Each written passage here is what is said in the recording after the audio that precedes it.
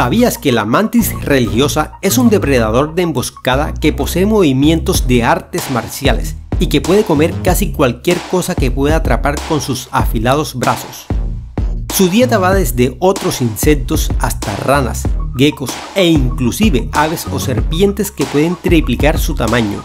Estos animales son descritos como insectos delgados que se alimentan mucho y sus cuerpos están construidos específicamente para la caza y la batalla. Además, tienen ojos relativamente grandes, brazos rápidos como el rayo y son extremadamente móviles ya que su cabeza puede girar hasta los 180 grados. Si te gustó este video suscríbete y activa las notificaciones, es gratis y nos ayudarías un montón.